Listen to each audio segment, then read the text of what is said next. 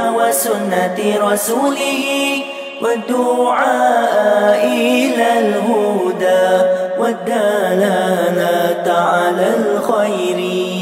ابتغاء وجه الله ومرضاته وقربه وثوابه. سبحانه سبحانه وتعالى. نويت التعلم والتعليم والتذكر والتذكير والنفع والانتفاع والإفادة والاستفادة والحث على التمسك بكتاب الله وسنة رسوله والدعاء إلى الهدى والدلالة على الخير ابتغاء وجه الله ومرضاته وقربه وثوابه. سبحانه سبحانه وتعالى.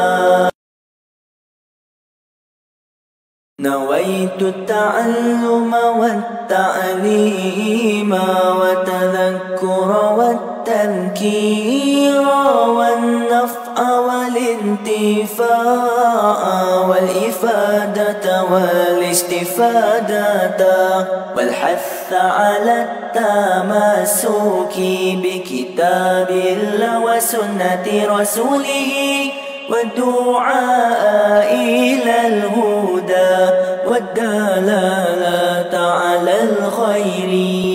ابتغاء وجه الله ومرضاته وقربه وثوابه.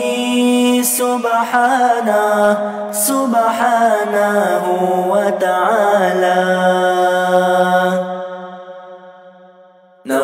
نويت التعلم والتعليم وتذكر والتذكير والنفع والانتفاع والإفادة والاستفادة والحث على التمسك بكتاب الله وسنة رسوله والدعاء إلى الهدى والدلالة على الخير.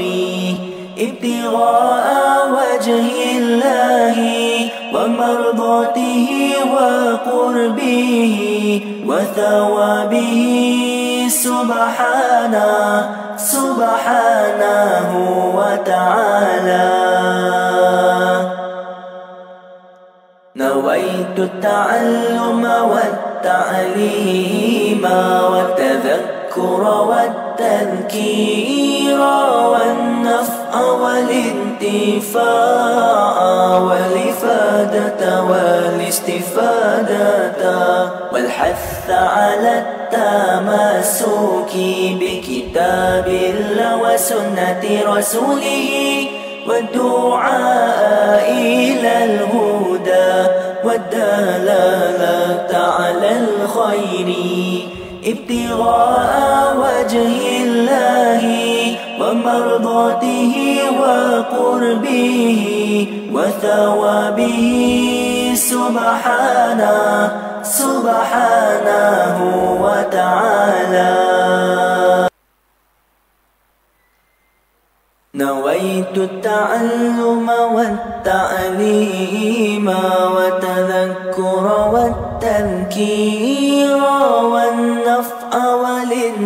والانتفاع والإفادة والاستفادة والحث على التمسك بكتاب الله وسنة رسوله والدعاء إلى الهدى والدلالة على الخير ابتغاء وجه الله ومرضاته وقربه وثوابه. سبحانه سبحانه وتعالى. نويت التعلم والتعلم والتعليم والتذكر والتنكير والنفع والانتفاع والإفادة والاستفادة والحث على التمسك بكتاب الله وسنة رسوله والدعاء إلى الهدى والدلالة على الخير. ابتغاء وجه الله ومرضاته وقربه وثوابه. سبحانه سبحانه وتعالى. نويت التعلم والتعليم والتذكر.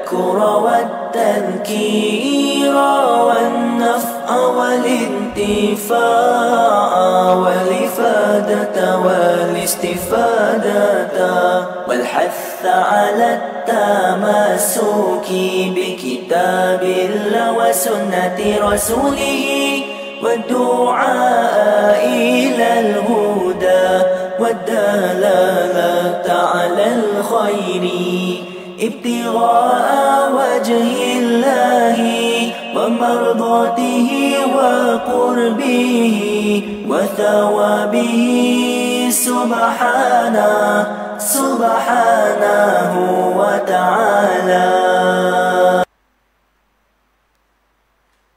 نويت التعلم والتعليم وتذكر والتذكير والنفع والانتفاع والإفادة والاستفادة والحث على التمسك بكتاب الله وسنة رسوله والدعاء إلى الهدى والدلالة على الخير ابتغاء وجه الله ومرضاته وقربه وثوابه. سبحانه سبحانه وتعالى. نويت التعلم والتعليم والتذكر والتنكير والنفع والانتفاع والإفادة والاستفادة والحث على التمسك بكتاب الله وسنة رسوله والدعاء إلى الهدى والدلالة على الخير ابتغاء وجه الله ومرضاته وقربه وثوابه. سبحانه سبحانه وتعالى. نويت التعلم والتعليم والتذكر والتذكير والنفع والانتفاع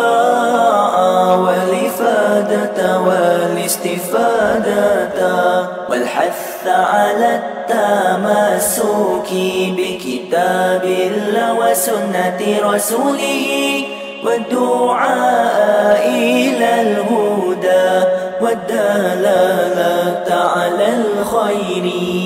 ابتغاء وجه الله ومرضاته وقربه وثوابه. سبحانه سبحانه وتعالى. نويت التعلم والتعليم وتذكر والتذكير والنفع والانتفاع والإفادة والاستفادة والحث على التمسك بكتاب الله وسنة رسوله والدعاء إلى الهدى والدلالة على الخير ابتغاء وجه الله ومرضاته وقربه وثوابه. سبحانه سبحانه وتعالى. نويت التعلم والتعليم وتذكر والتنكير والنفع والانتفاع والإفادة والاستفادة والحث على التمسك بكتاب الله وسنة رسوله والدعاء إلى الهدى والدلالة على الخير ابتغاء وجه الله ومرضاته وقربه وثوابه. سبحانه سبحانه وتعالى. نويت التعلم والتعليم والتذكر والتذكير والنفع والانتفاع والإفادة والاستفادة والحث على التمسك بكتاب الله وسنة رسوله والدعاء إلى الهدى والدلالة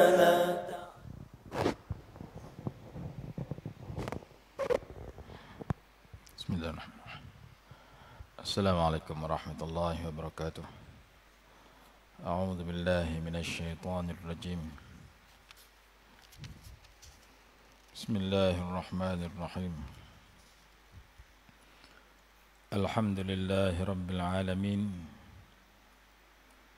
وبه نستعين على أمور الدنيا والدين. والصلاة والسلام على سيدنا ومولانا محمد أشرف الأنبياء والمرسلين وعلى آله وصحبه أجمعين. سبحانك لا علم لنا إلا ما علمتنا إنك أنت العليم الحكيم. رب اشرح لي صدري ويسر لي أمري واحلل عقدة من لساني يفقه قولي ولا حول ولا قوة إلا بالله العلي العظيم أما بعد kita masih membicarakan secara ringkas ayat 33 di dalam surah Fussilat. ومن أحسن قولا ممن دعا إلى الله وعمل صالحا وقال إنني من المسلمين dan siapakah yang lebih baik perkataannya dari jika dibandingkan dengan orang yang menyeru kepada Allah dan mengerjakan kebaikan dan dia berkata sesungguhnya saya termasuk orang-orang muslim yakni berserah diri dan patuh kepada Allah Subhanahu wa taala. Perkataan yang paling baik yang terbit daripada mulut seseorang muslim itu ialah perkataan mengajak orang lain kepada Allah Subhanahu wa taala di dalam agama ada perkataan yang dikenali sebagai perkataan secara hakiki. Ada perkataan secara majazi, secara pinjaman. ada perkataan yang sebenarnya, ada perkataan secara uh, kiasan ataupun secara perbandingan. Contoh saya melihat singa di dalam zoo negara. ataupun saya bertemu singa di dalam hutan belantara. Maka singa itu singa yang sebenarlah. Sebab singa memang duduk dalam hutan pun. Singa duduk dalam zoo ha betul lah. Memang zoo tempat menantang pun tapi kalau dia kata saya melihat singa sedang membaca khutbah di atas mimbar maka yang tu bahasa pinjaman singa mana boleh cakap mana boleh naik atas mimbar? Mana boleh baca khutbah? Jadi saya melihat singa berkhutbah di atas mimbar yakni seorang yang gagah berani macam singa yang sedang membaca khutbah. Maka digelarlah sahabat Nabi SAW yang hebat, yang berani dalam memperjuangkan Islam iaitu Sayyiduna Hamzah radhiyallahu anhu sebagai asadullah. Asadullah mana singa Allah. Dia bukan singa dia orang tapi beraninya dalam peperangan gagah perkasanya dalam peperangan maka dia digelar singa Allah sebagaimana sayyiduna Khalid ibn al-Walid radhiyallahu anhu digelar saifullah pedang Allah taala. Kerana dia berjihad mempertahankan agama Allah bahkan memperluaskan jajahan takluk negara Islam. Di zaman setelah ia memeluk Islam terutama di zaman Sayyidina Abu Bakar dan Sayyidina Umar radhiyallahu anhuma jadi itu perumpamaan ini pedang Allah ini singa Allah jadi bahasa original yang asli digunakan kepada sesuatu dan ada ketika bahasa pinjaman. Kalau kita kata kemarin saya sesema, hari ini dah lega, yang menyembuhkan demam sesema saya ialah Allah Subhanahu wa taala. Hakikatnya memang sedemikian. Yang menyembuhkan demam sesema saya Panadol yang saya telan. Itu bahasa pinjaman. Jangan pergi kata oh syirik, pergi kata masa penedul pergi lega. Bahasa pinjaman. Yang mengenyangkan saya pada hakikatnya ialah Allah. Yang mengenyangkan saya pada pinjamannya, pada zuhirnya adalah nasi. Saya makan nasi, kenyang. Kalau saya beriktiqat nasi yang mengenyangkan, syirik. Nasi hanya sebab yang mengenyangkan Allah. Ha, saya yang menghilangkan, saya yang menghilangkan dahaga saya Allah yang menghilangkan dahaga saya yang sejuk yang saya minum itu secara pinjaman maka kedua-dua ini digunakan dalam penggunaan seharian. Terlebih dahulu digunakan dalam syarak. Contoh kita baca Fatihah. Iyyaka na'budu hanya engkau yang kami sembah. Hanya akan dikau yang kami sembah.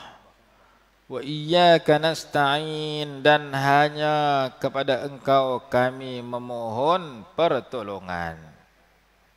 Itu Fatihah dalam hadis 40 kata wa idza sta'anta fasta'in billah apabila kamu nak minta tolong maka minta tolonglah kamu kepada Allah Subhanahu wa taala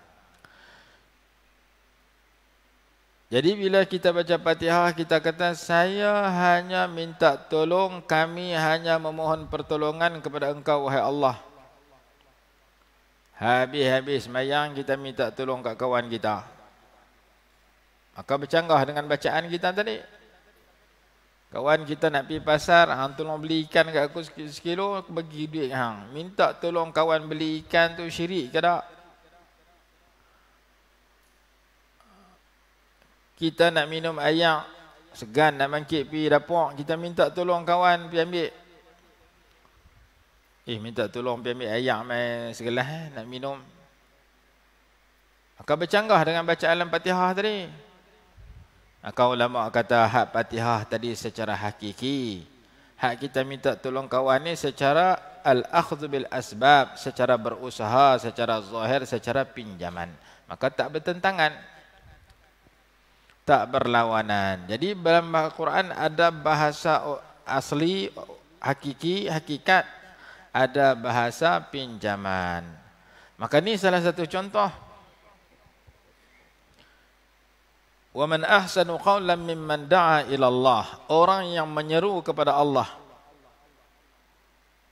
Seperti firman Allah dalam suratul Qasas ayat 87, "Wad'u ila rabbik." Serulah engkau oleh engkau dan serulah engkau dan dan dakwahlah engkau kepada Tuhanmu. Ha ini kepada Allah di situ kepada Tuhanmu satu sama makna.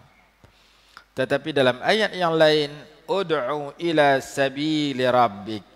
Berdakwahlah kamu kepada jalan Tuhan kamu. Jadi berdakwah kepada Allah, berdakwah kepada Tuhan kamu secara hakiki, berdakwah kepada jalan Tuhan kamu secara bahasa pinjaman seperti asadullah uh, secara bahasa pinjaman. Kedua-duanya betul dan tidak bertentangan. Sebagaimana ayat Quran yang berbunyi wa man ya'tasim billah faqad hudiya ila siratim mustaqim Barang siapa yang berpegang kepada Allah dengan Allah masa sesungguhnya ia telah diberi petunjuk kepada jalan yang lurus. Dan sebagaimana ayat Quran yang berbunyi wa'tasimu bihablillah jami'an wa la tafarraqu. Ya dan yang tadi wa man ya'tasim billah berpegang dengan Allah. Ini berpegang dengan tali Allah tidak berlawanan berpegang dengan Allah secara hakiki berpegang dengan tali Allah agama Allah secara majazi secara bahasa pinjaman. Begitu juga ayat Quran yang menyatakan Qul yatawaffakum malakul maut alladhi wukila bikum. Begitu juga zikir yang berbunyi La ilaha illallah wahdahu la syarika lah lahul mulk wa lahul hamd yuhyi wa yumit La ilaha illallah wahdahu la syarika lah tiada tuhan melainkan hanya Allah yang Maha Esa La syarika lah tiada sebarang sekutu baginya. Lahul mulku hanya miliknya segala kerajaan. Walahul hamdu dan hanya tertentu baginya segala pujian. Yuhyi wa yumit dialah yang menghidupkan dan dialah yang mematikan. Yuhyi dia menghidupkan wa yumitu dan dia mematikan wa huwa ala kulli syai'in qadir dan dia maha berkuasa atas segala sesuatu jadi kita mengaku bahwasanya yang bagi hidup bagi makhluk hidup ialah Allah. Yang bagi makhluk mati ialah Allah. Itu wirid lepas semayang lepas semayang subuh 10 kali. Dalam riwayat Imam Tirmizi, siapa baca wirid itu 10 kali selepas sembahyang subuh dalam keadaan kakinya masih kekal dalam tasyahud akhir dan dia tidak bercakap lagi. Syarat dia kaki dalam tasyahud akhir, syarat kedua jangan bersembang sebelum bercakap. Diberikan lima anugerah yang pertama dihapuskan yang pertama dihapuskan sepuluh dosa. Yang kedua diberikan sepuluh pahala. Yang ketiga diangkat sepuluh darjat. Yang keempat wa hufidha min kulli makruh dzalikal yaum. Yang keempat dipelihara daripada setiap perkara yang dibenci sepanjang hari tersebut yang kelima wahurisa minasyaitan dan dikawal dipelihara dijaga akan dia daripada syaitan lima anugerah Allah ini disebut dalam sunan Tirmizi terhadap orang yang boleh membaca zikir itu sepuluh kali lepas sembahyang subuh dengan dua syarat Syarat pertama kaki masih kekal dalam tasyahud akhir belum diubah. Syarat kedua jangan bersembang. Nak bersembang lepas habis itu. Bagi-bagi salam sembang lu baru baca tak mau.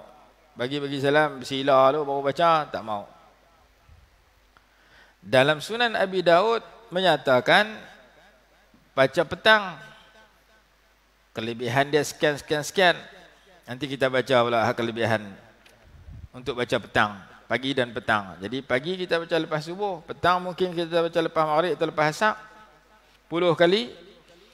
Maka adalah kelebihan-kelebihan yang disebutkan dalam hadis itu. Baik.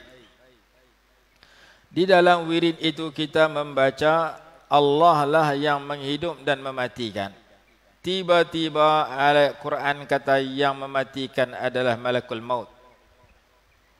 Qul yatawaffakum malakul maut alladhi wukkila bikum summa ila rabbikum turja'un. Qul katakanlah olehmu wahai Rasulullah yatawaffakum mewafatkan akan kamu semua. Mewafatkan yakni mematikan. Mematikan akan kamu semua itu malakul maut oleh malaikat maut. Malakul maut malaikat yang mengambil nyawa yang bertugas mengambil nyawa. Malakul maut malaikat yang mematikan seseorang qul yatawaffakum malakul maut alladhi wukila bikum yang diwakilkan kepada kamu yang diwakilkan oleh Allah kamu wahai malaikat maut pergi ambil nyawa kamu Qul yatawaffakum malakul maut alladhi wukila bikum summa ila rabbikum turja'un. Kemudian hanya kepada Tuhan kamu semua, kamu semua akan dikembalikan. Jadi nampak macam bertentangan. Wirid kata yang mematikan Allah. Ayat Quran kata yang mematikan malakul maut. Maka hakikatnya tidak bertentangan. Yang mematikan Allah itu secara hakiki, secara hakikat yang matikan itu malakul maut secara bahasa majazi bahasa pinjaman bahasa ah, bahasa sementara ataupun bahasa sebab yang melaksanakan sebab itu maka begitu juga dalam ayat-ayat yang lain. Jadi di sini sebut menyeru kepada Allah. Ayat lain menyeru kepada jalan Allah atau menyeru kepada agama Allah. Seperti mana firman Allah dalam surah Muhammad ayat 7 in tansurullaha yansurkum. Jika kamu semua menolong Allah pasti Allah menolong kamu jika kita tolong Allah Allah tolong kita. Awan Allah Taala ni lemah ke berhajat kepada pertolongan kita? Tak. Itu duk sebut tolong Allah tolong agama Allah. Allah Taala tak perlu pertolongan kita kerana dia maha kuat. Kita yang perlu pertolongan dia setiap saat kerana kita lemah. Tapi Quran kata tolong Allah. Sama dengan hadis kursi kata maridtu falam ta'udni aku sakit kenapa engkau tak ziarah aku? Oh Allah Taala pun sakit juga kah? Selalu sakit ni orang menatang sakit. Ah, kucing tu sakit kaki, orang tu sakit jantung, orang tu sakit tiba-tiba Allah Taala kata aku pun sakit. Sakit ni sifat yang kekurangan. Bolehkah Allah kata Allah Ta'ala sakit? Dia kata sendiri itu adalah hadis kursi. Maka ulama tauhid kata jangan duk terjemah cara zahir. Kalau terjemah cara zahir lingkup bahasa dia. Ha, tak betul. Dari sudut ilmu tauhid. Memerlukan kepada tafsiran takwilan yang sesuai dengan kebesaran Allah Subhanahu wa taala.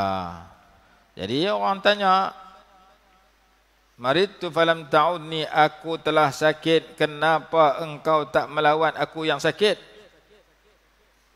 Kaifa a'uduka wa anta rabbul alamin Maka ditanya bagaimana engkau boleh sakit ya Allah dan bagaimana aku, aku nak ziarah engkau sedangkan engkau Tuhan semesta alam Allah menjelaskan ama wajadta abdi fulan Apakah engkau tak tahu hamba aku si fulan itu sakit? Kalau kamu ziarah dia, kamu dapati aku di sisi dia. Kamu dengar ada orang sakit, dia tu hamba aku, taat pada aku. Kamu ziarah orang sakit tu, kamu dapati aku macam ziarah aku. Dengan arti aku suka bagi pahala banyak, bagi rahmat kasih sayang kepada seseorang yang boleh ziarah orang sakit di kalangan hamba Allah Subhanahu Wa Taala. Maka ayat hadis tu kata aku sakit. Ya Quran kata jika kamu tolong Allah, tolong ni orang yang Tak larat boleh kita tolong. Kalau dia kuat, dia yang tolong kita. Kita nak tolong angkat, kawan tu nak angkat barang, naik atas kereta dia, naik atas motor dia tak larat. Minta tolong kita. Kita tolong angkat. Pasal apa? Pasal dia tak larat. Dia kata kita ni, cek tolong angkat barang pakcik ni. Pakcik angkat seorang tak naik. Beli banyak angkat bukan rabu ni. Kita tolong angkat dia. Pasal dia tak larat. Kalau dia kuat, dia tak boleh minta tolong kita. Jadi Allah Ta'ala maha kuat. Pasal apa Allah Ta'ala kata, tolong aku. Tolong itu ditafsirkan yang sesuai. In tansurullaha yansurkum. Ayat 7 surah Muhammad. Jika kamu semua menolong Allah, mesti Allah menolong kamu. Menolong Allah ini ditafsirkan kepada menolong agama Allah Subhanahu wa taala. Maka sini pun sama wa man ahsanu qawlan mimman da'a ila Allah. Tidak ada sesiapa yang lebih baik perkataannya daripada orang yang berkata untuk menyeru kepada Allah yakni menyeru kepada menghayati agama Allah Subhanahu taala. Menyeru supaya mempelajari agama Allah menghayati agama Allah menegakkan dan menyebarkan agama Allah taala. Kata-kata itu keluar daripada mulut seseorang kata-kata itu terbit daripada jari seseorang yang menulis tulisan itu. Itulah kata-kata yang terbaik itulah tulisan yang terbaik bila kita bercakap kita kata nak ajak orang mendekatkan diri kepada Allah ajak orang cari redha Allah Subhanahu wa taala. Kata saja cukup kada uh, jomlah kita semayang. Dia tak semayang. Semayang tu wajib. Ni nak masuk bulan puasa dia kata wahai tuan-tuan mari kita berazam nak puasa. Dalam hati dia aku suruh orang aku tak mau puasa. Ha tu tak ada ha tu Allah tak suka Hang suruh orang buat benda wajib, hang tak mau buat. Hang tak bagi orang buat benda haram, hang duk pula buat benda haram. Allah murka orang buat kelaku-laku tu. Dalam Quran kata, Ya ayyuhalladzina amanu lima taquluna ma la taf'alun. Wahai orang-orang yang beriman, kenapa kamu berkata sesuatu yang kamu tak buat? kabura maqtan indallahi an taqulu ma la taf'alun. Amat besar kemurkaan Allah bagi mereka jika kalian berkata sesuatu yang kalian tak buat. Jadi Allah taala murka kepada orang yang kata lain buat lain dalam perkara wajib perkara haram perkara sunat dengan makruh tu tak apa. Yang tu tak berdosa. Tapi hak wajib dia suruh orang buat dia tak buat. Seperti semayang wajib seperti puasa Ramadan. Hak haram dia tak bagi orang buat dia pergi buat. Maka dia telah menempa kemurkaan Allah. Ayat berapa? Ayat 2 dan 3 surah as-saff ayat 2 dan 3 surah As-Saff. As-Saff ni barisan yang turun di Madinah. Surah As-Saff ni juzuk 28. Muka surat 551. Juzuk 28. Muka surat 551. Surah yang ke-61. Surah ni hanya 14 ayat. Tak banyak. Jadi dalam surah ini Allah berfirman sabbaha lillahi ma fis samawati wa ma fil ardi wa huwal azizul hakim telah bertasbih kepada Allah segala sesuatu yang berada di tujuh lapisan langit dan tujuh lapisan bumi dan dia maha perkasa lagi maha bijaksana. Itu ayat pertama. Ayat kedua Allah bagi amaran kepada orang yang bersembang benda yang dia tak buat. Ya ayyuhalladzina amanu wahai orang-orang yang beriman. Lima taquluna kenapa kalian kenapa kamu semua mengatakan ma la taf'alun sesuatu yang kamu tidak melakukannya? Kita kata ke orang jom kita sembahyang lima waktu kita tuang tak sembahyang jom kita puasa bulan Ramadan orang puasa kita makan kita kata lain kita buat lain itu ha, Allah Ta'ala tak suka. Kita kata orang jangan duk muhung, kita muhung hari-hari. Sambungan ayat ayat ketiga surah As-Saff. Kabura maqtan indallahi an taqulu ma la taf'alun. Amat besar kemurkaan di sisi Allah bahawa kamu mengatakan sesuatu yang kamu tidak melakukannya. Jadi ingat ayat ni peringatkan orang duk bercakap, duk bertulis. Dia tulis hak nu, dia tulis hak ni kena buat lagu nu, kena buat lagu ni, tiba-tiba dia tak buat benda wajib yang dia tulis. Dia tulis hak nu, dia tulis hak ni, dia kata hak nu hak tak boleh buat, hak ni tak boleh buat, hak nu haram, hak ni haram, tiba-tiba dia buat benda yang dia kata haram itu. Sedangkan yang wajib mesti dia buat dan dia kata ajak orang buat, benda haram mesti dia tinggal dan dia ajak orang tinggal. Benda makruh, benda sunat, sedaya upaya yang tu. Tak berdosa kalau buat, tak berdosa kalau tak buat kerana itu sunat dan makruh tapi hak wajib tak boleh maka ayat 2 dan 3 surah as-saf juzuk 28 ini memberi peringatan kepada semua orang yang bercakap dan menulis sesuatu percakapan dan menulis sesuatu tulisan Jangan sampai kalau tulisan itu berbentuk wajib, dia hanya tulis untuk orang lain dia tak buat. Jangan sampai kalau tulisan itu berbentuk haram, dia hanya tulis larang orang lain buat benda haram, tapi dia duduk pulun buat benda haram. Ayat 2 dan 3. Ayat 2 dan 3 ini lebih kurang sama juga dalam surah Al-Baqarah yang menyatakan tentang Allah Ta'ala tak suka orang yang bercakap lain buat lain. Ah, Allah Ta'ala tak suka orang yang bercakap lain buat lain.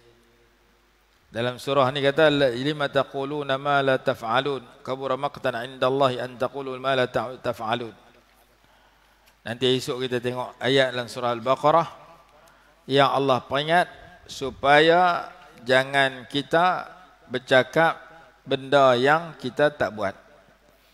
Akhirnya pentingnya kita mengamalkan apa yang kita bercakap.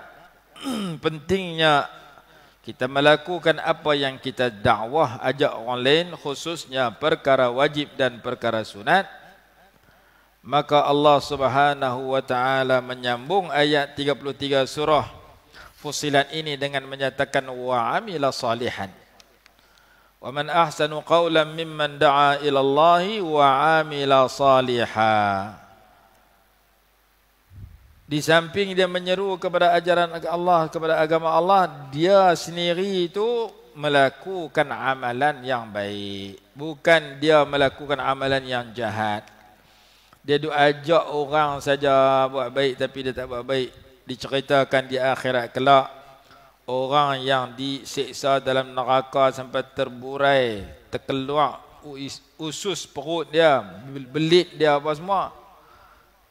Orang hak dia duk ajak tu masuk syurga, dia masuk neraka.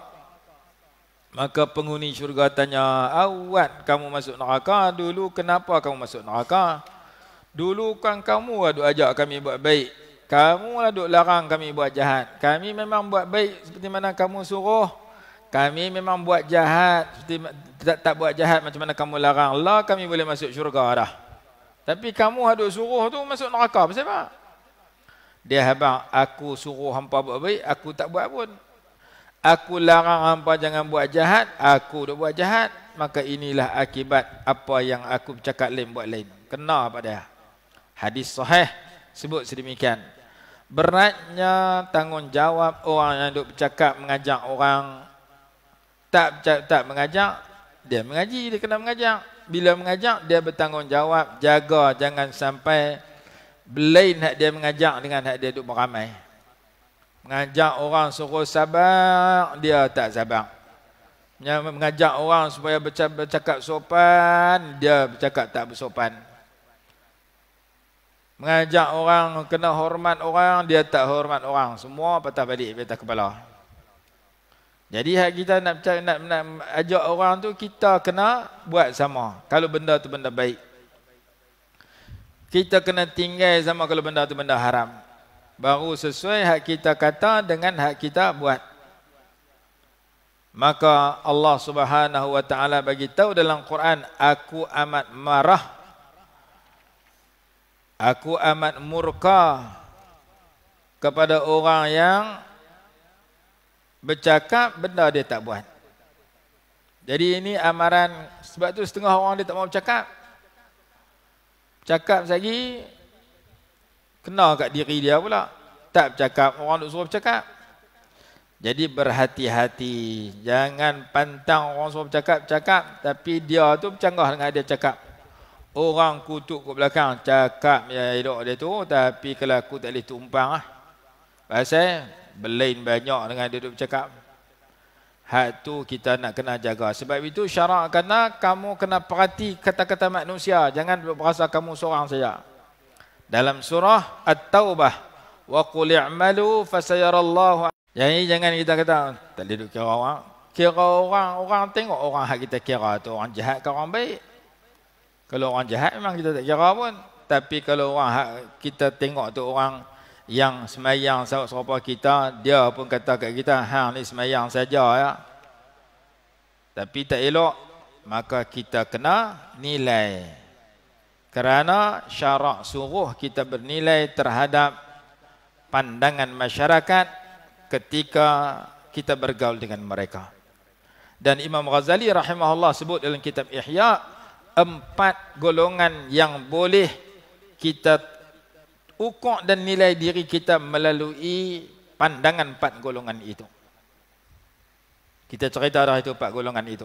Nombor satu, guru yang mursyid. Nombor dua, ah, kawan yang baik. Nombor tiga, musuh.